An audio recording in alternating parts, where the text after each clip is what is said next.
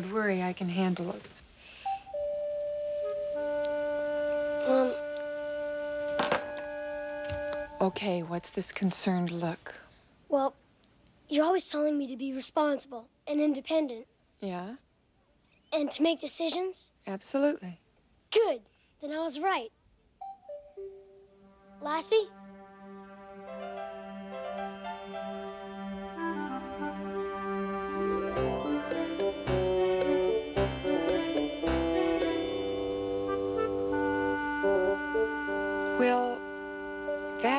A horse. A miniature horse. Tinker. He belongs to Mrs. Larson.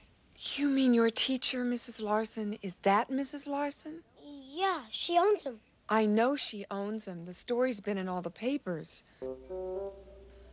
Mrs. Larson fell and broke her shoulder on the way to school. Lassie knows Tinker, so I volunteered to take him. Where'd you volunteer to take him to? It'll only be for a couple days. He's housebroken and everything. He won't be any trouble. Really? Tinker!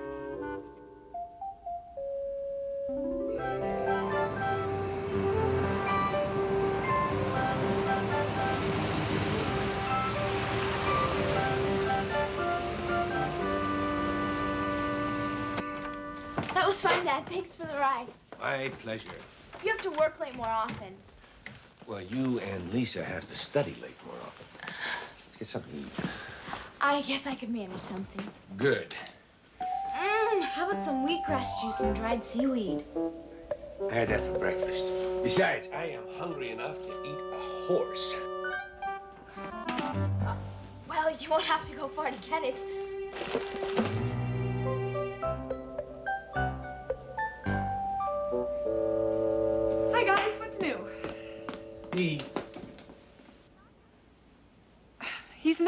This season. He's only moving in for a day or Moving so. in? Is that the horse that's been in the papers? Yeah. I'm not gonna be able to show my face at school. Megan, we're only boarding him. Boarding him? I don't want to be known as the horse girl. Guys, Will made a commitment to take him. Now, we have to honor that. Don't we? Not necessarily. I agree. Okay, if the horse turns out to be a problem, he's out of here. Fair?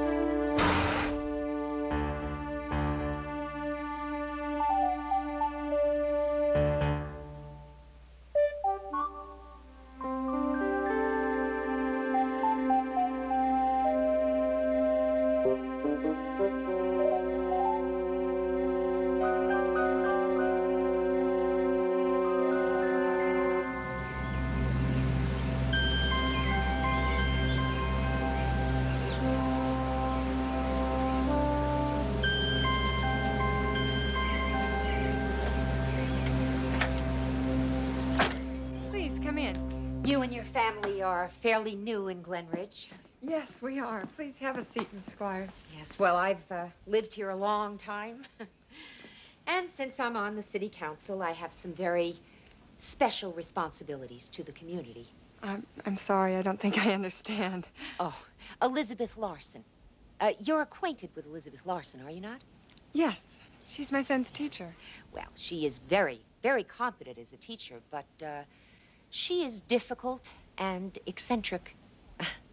the issue of her horse isn't a new one by any means. I see the issue. Yes, I've read your comments in the paper. She keeps a horse in her home. The next thing you know, people will want to keep sheep or goats or pigs. Well, frankly, I doubt that. Does that mean that you approve of her horse? Well, Tinker's a house pet. Oh, please. He's a farm animal. He's been a continuing destructive nuisance, and last night He was in my garden again with that collie of yours destroying my flowers. Now, I know you're wrong about that. Lassie is very well behaved, and she is certainly not destructive.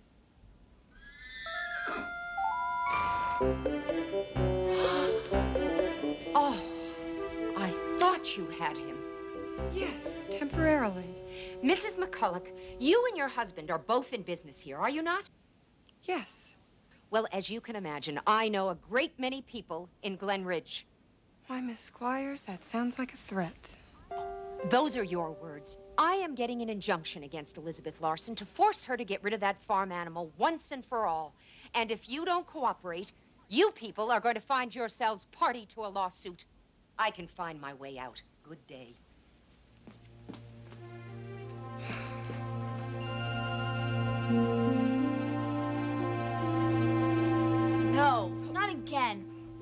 Last time you borrowed my camera?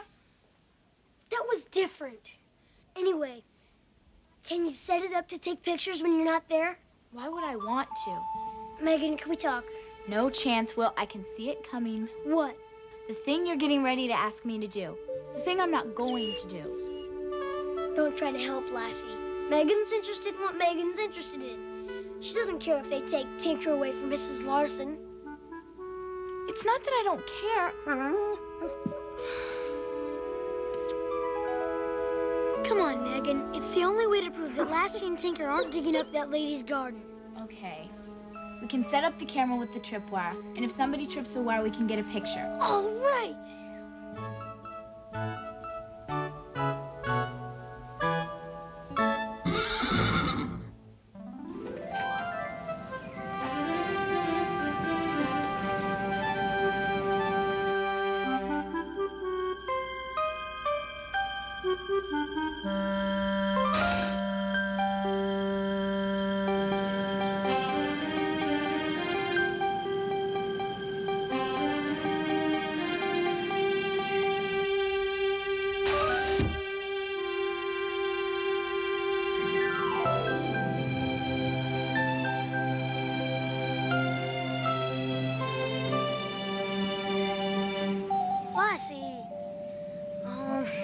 Okay. Come on.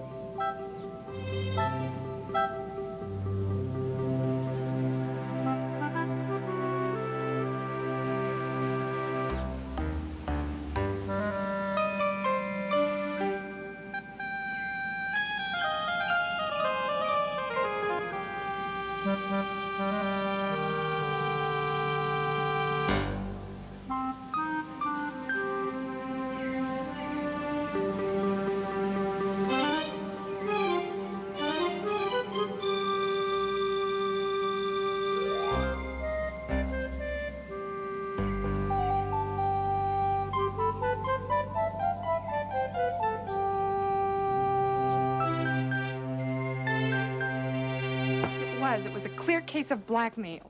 Well, what did she say exactly? Wasn't what she said exactly. It was how she implied she was going to blackball us. Blackmail and blackball. Well, at least she's color coordinated. Ha-ha. Dee, maybe you're upset because the councilwoman is right. Oh, that little horse never did anything to hurt her. She raises prize-winning flowers. Tinker's been digging up her garden. Yeah, but it's the principle of the thing. I mean, people should be allowed to be a little eccentric without some stuffy bureaucrat threatening to sue them for no reason. Is that what you're gonna tell the judge when we get sued? Exactly.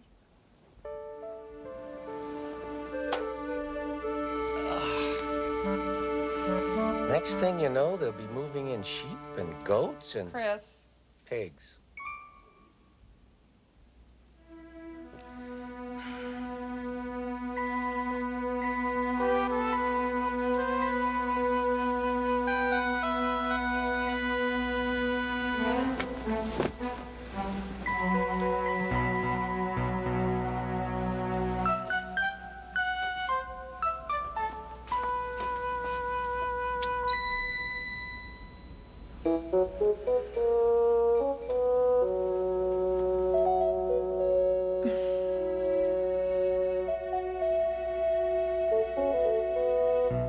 Don't tell me.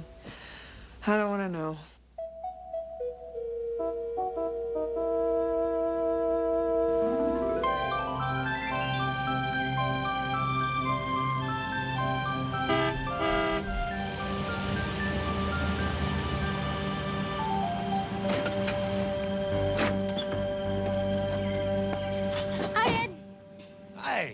How's our star boarder? Canary did you swallow?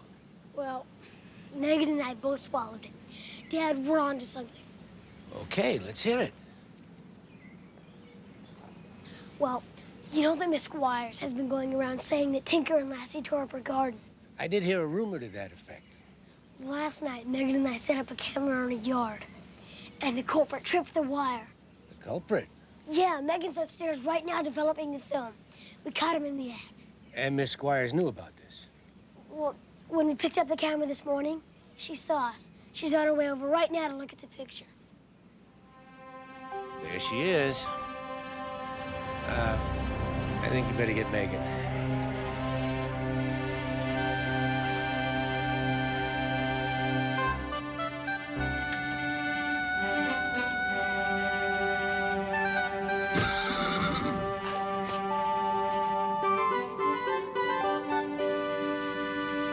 Who is it, Megan? We are in deep, wide, dire trouble.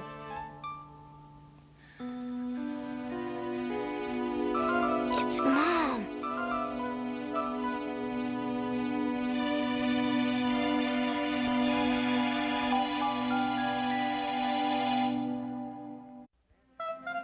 I understand that, but even though they didn't get permission, I mean, their hearts were in the right place. Dad, Dad, could I see you for a minute? Excuse me. can I get you something? A carrot stick? No. Thank you. Dad, you don't want her to see this picture. Come on, Megan. You she's- don't understand. Megan, give me the picture. If it's the horse, it's the horse. And it- Is there a problem? No, of course not. Megan?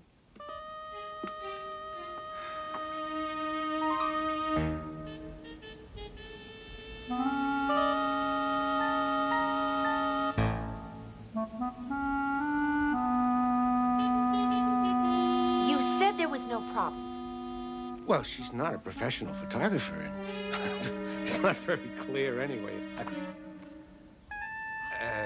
look, I'm sure there's some uh, logical Well, I think it's perfectly clear. explanation. You will be hearing from my lawyer. I gotta go. Uh, me too. Oh, boy. Where did this come from, and how did you get it? Will and Megan trying to help.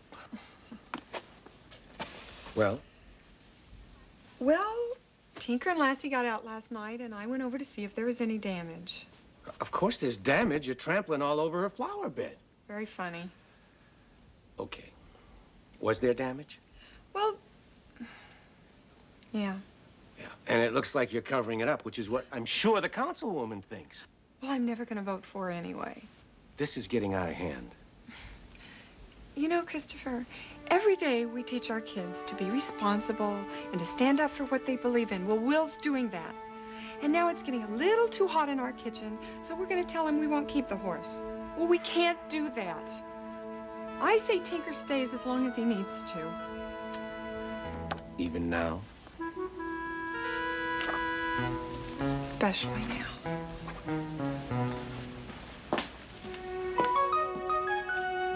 How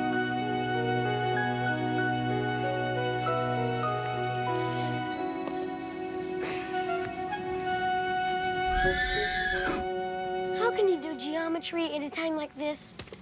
I can't. You never should have talked me into going over there. It seemed like a good idea at the time. You only made things worse. Now we're all in trouble. I'm sorry, Will. It's not your fault. It's his. Megan, relax.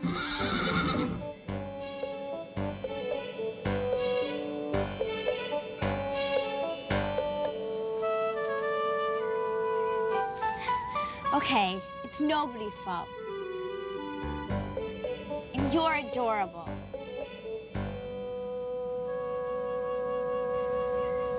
But what if Tinker has been digging up the flowers? I mean, we don't know for sure either way. Well, all I know for sure is that Mrs. Larson is alone. Tinker's all she has. And I can't figure out how to help her.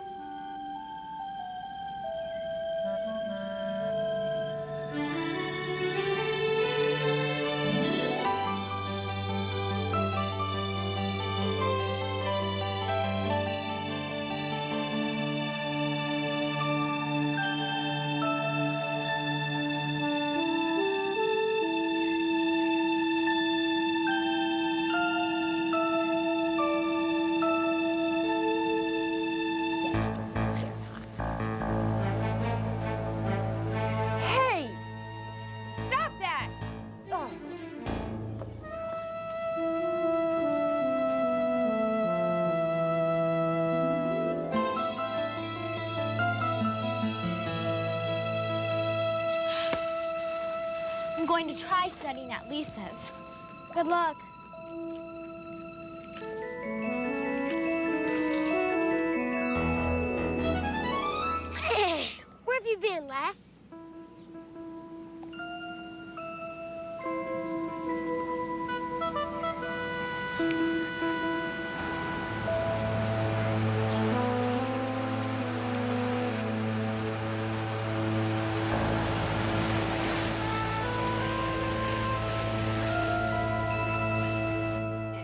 Time, I caught her in the act. It could have been that collie of yours all along. Really? Uh, Will? It hasn't been Lassie all along. It hasn't been Tinker either. And incidentally, it hasn't been me. Nonsense. You are all responsible. Well, actually, we think you might be. I beg your pardon. Miss Squires, you have a dog, don't you? Yes. Muffin. Does this belong to Muffin? Where did you find this? We think Lassie found it in your garden, where Muffin buried it. There could be all kinds of things planted there, besides flowers. Oh, Muffin would never. I mean, I mean, it, well, it never even occurred to me that. Your little dog is so cute. You can't help but love her. Like we love Lassie. Like Mrs. Larson loves Tinker. Miss Squires, Muffin wasn't digging up other people's gardens. I mean, it's her garden too. She thought it'd be okay to put her things there. Please, don't punish her. I, uh. I wouldn't dream of punishing her. And, um, what about Tinker? They both deserve to be loved. They're both wonderful house pets.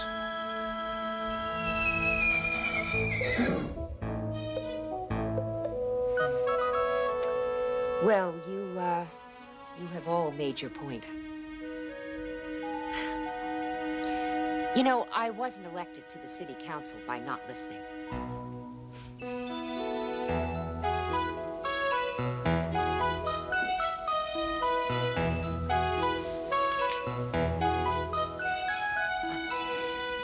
Tell Mrs. Larson I've changed my mind. Next election, I'm going to vote for her. I thought you said you'd never vote for her. Well, she's not the only one who can change her mind.